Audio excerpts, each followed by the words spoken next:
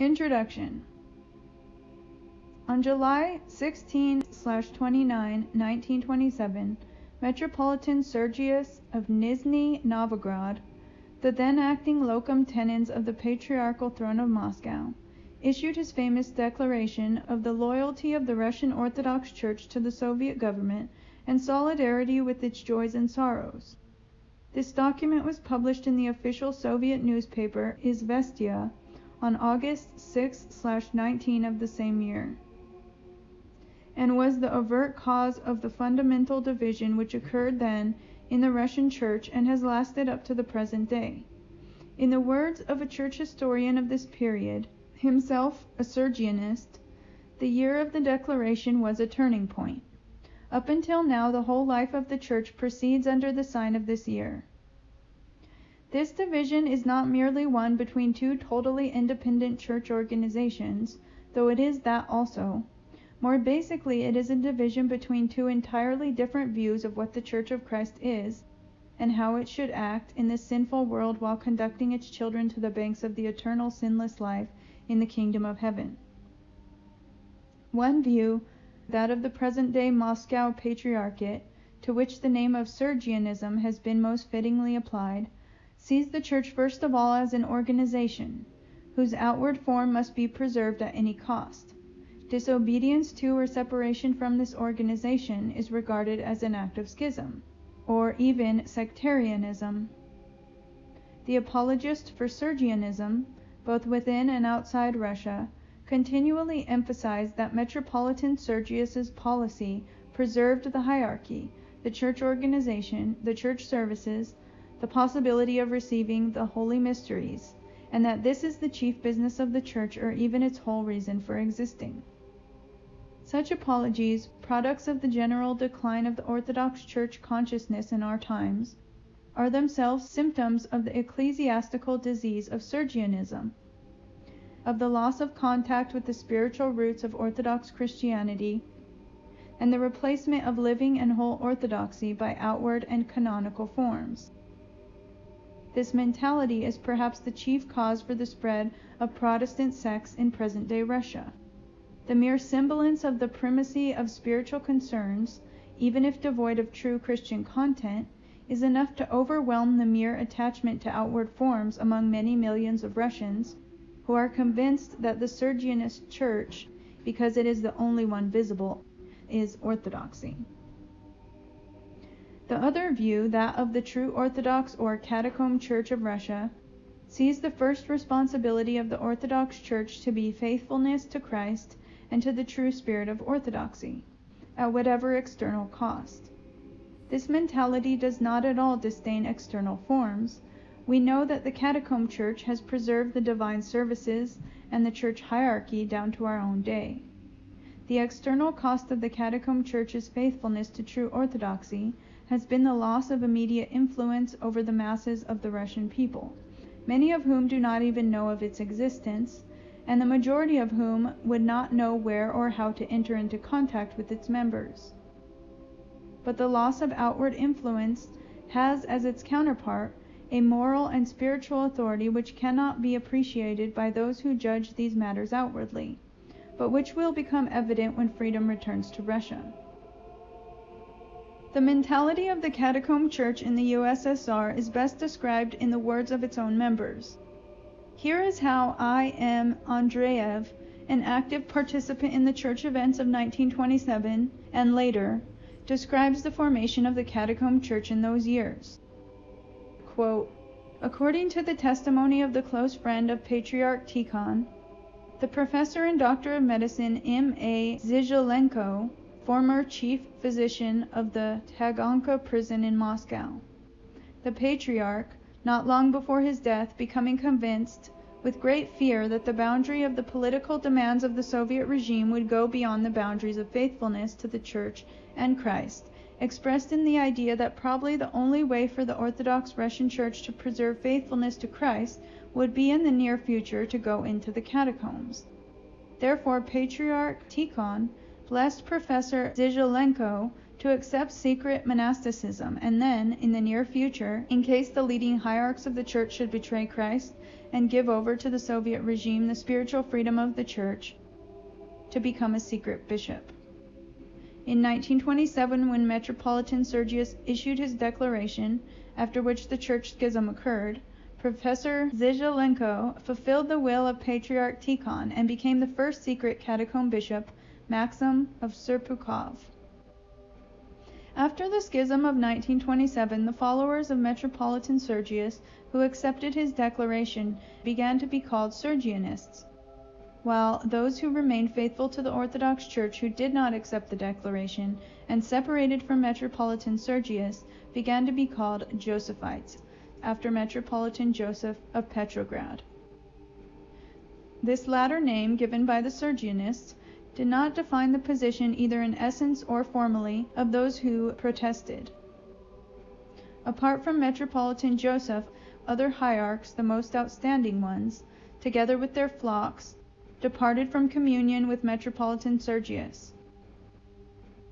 The religious moral authority of those who protested and separated was so high, and their qualitative superiority was so clear, that for the future historian of the Church there can be no doubt whatever of the correctness of the opponents of Metropolitan Sergius. These latter could more correctly be called faithful Tikhonites, and the activities of Metropolitan Sergius and those with him must be characterized as neo-renovationist schism. All those who protested against the declaration of Metropolitan Sergius were arrested by the Soviet regime as counter-revolutionaries they were shot or sent to concentration camps and exile. At interrogations the jubilant Chekist interrogators, with sarcasm and evil joy, would prove the strict canonicity of Metropolitan Sergius and his declaration, which has not altered either canons or dogmas. The mass executions, persecutions, and tortures which descended upon the faithful of Christ's Church are beyond description. For the true Orthodox Church there was left no alternative but to go into the catacombs. The spiritual father who gave birth to the very idea of the catacomb church was Patriarch Tikhon. In the first years of its existence the catacomb church had neither organization nor administration, was dispersed physically and geographically, and was united only by the name of Metropolitan Peter. The first catacomb bishop Maxim was arrested in 1928 and sent to the Solovki concentration camp. In 1930 he was sent from the camp to Moscow and shot. Beginning in 1928 in the Solovki and Svir concentration camps, in the Belbaltlag camp, and in many camps in Siberia, there began to be performed many secret ordinations. In the Solovki camp where I was, these were performed by Bishops Maxim, Victor, Hilarion, and Nectari. After the death of Metropolitans Peter and Cyril both died in exile in 1936 the spiritual and administrative head of the Catacomb Church, which by this time had achieved a certain degree of organization, became Metropolitan Joseph, even though he was in exile. At the end of 1938, precisely for his leadership and guidance of the secret Catacomb Church, Metropolitan Joseph was executed. After his death the Catacomb Church began yet more strictly to keep its secrets, especially the names and locations of its spiritual leaders. I will not speak of the mystery to thy enemies. It is with such a motto that brief information has appeared from time to time on the life of this secret church.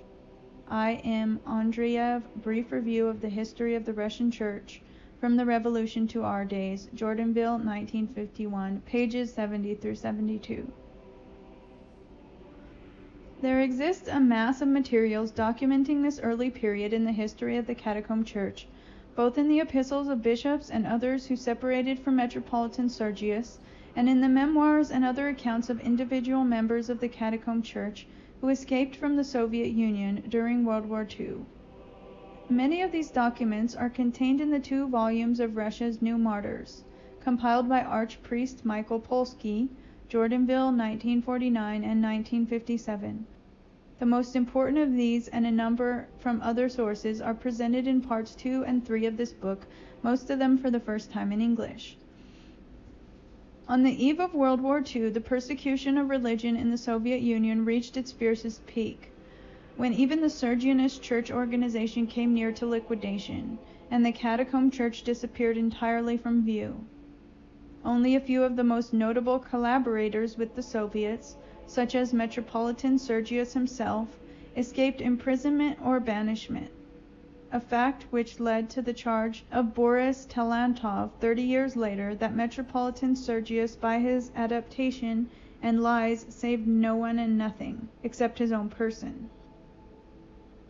When Stalin, in order to take advantage of the patriotic and religious feelings of the Russian people in the war against the Germans, opened a number of the closed churches and allowed the election of a patriarch in 1943, a new period began in church state relations when the Moscow Patriarchate became in effect the state church of the Soviet government, spreading communist propaganda throughout the world in the name of religion and categorically denying the existence of any religious persecution whatever in the Soviet Union. The mere existence of a catacomb Orthodox Church opposed to this policy, of course, could have a disastrous effect on the policy, especially if it became widely known abroad. All groups of Catacomb Orthodox were mercilessly uprooted by the Soviet authorities when discovered and their members were given long prison terms. Most of the little information we have from this period of the history of the Catacomb Church in Russia comes from the Soviet press, but almost nothing is known to this day about the organization and leadership of the Catacomb Church during this time. Under Khrushchev in 1959, a new and intense persecution of religion was undertaken in the U.S.S.R., inaugurating the most recent period of Russian church history, a period in which the Sergianist puppet church organization is itself being used to liquidate orthodoxy in Russia, while continuing its communist propaganda abroad and its now totally incredible assertions of the absence of any persecution of religion in the USSR. A majority of the remaining Sergianist churches, monasteries, and seminaries have been closed in this period, and an especially fierce persecution has been conducted against unregistered church bodies, such as the Catacomb Orthodox Church, which is known to the Soviet authorities under the name of Josephites, Tikhonites, or the True Orthodox Church. The persecution was especially fierce in the years 1959 through 1964. Since the downfall of Khrushchev it has been less intense, but it continues all the same, especially against the unregistered bodies. In this most recent period a new spirit of boldness has entered church life in Russia. This, coupled with a greatly increased freedom of communication between the U.S.S.R. and the free world, has produced what, beginning with a few isolated protests in the early 1960s, has now become a wave of protest and indignation from believers in Russia directed against the religious persecutions of the Soviet government and the spineless apologies for it of the official church organization. The open letter to Patriarch Alexis of the Moscow priests Gleb Yakunin and Nicholas Eshliman in 1965. The articles on Sergianism by Boris Talantov in 1968 the righteous protest against the church policy of the Moscow Patriarchate from Orthodox Christians, as diverse as Archbishop Ermogen and Alexander Solzhenitsyn, and most recently the desperate cries of conscience of Father Dmitry Dudko and the new church history of Lev Regelson, who has given the first sympathetic account of the Josephites from within the Moscow Patriarchate have led to a veritable crisis of Sergianism in Russia. The chief factor, it would seem, that now prevents a new break with the Moscow Patriarchate on the scale of the Josephite movement of 1927 is a certain fear of the specter of schism and sectarianism, coupled with a widespread ignorance of the actual state and mentality of the present day catacomb church. The most striking testimonies regarding the meaning of Sergianism from within the Moscow Patriarchate today are included in Part 4 of this book. Finally, the past few years, beginning with the death of Patriarch Alexis in 1971, have seen a certain re-emergence of the Catacomb Church itself in Russia. In particular, the two catacomb documents of 1971 have given us the first real view in 40 years of the mentality of the present day catacomb church, which would seem to be quite sober and not at all sectarian or fanatical.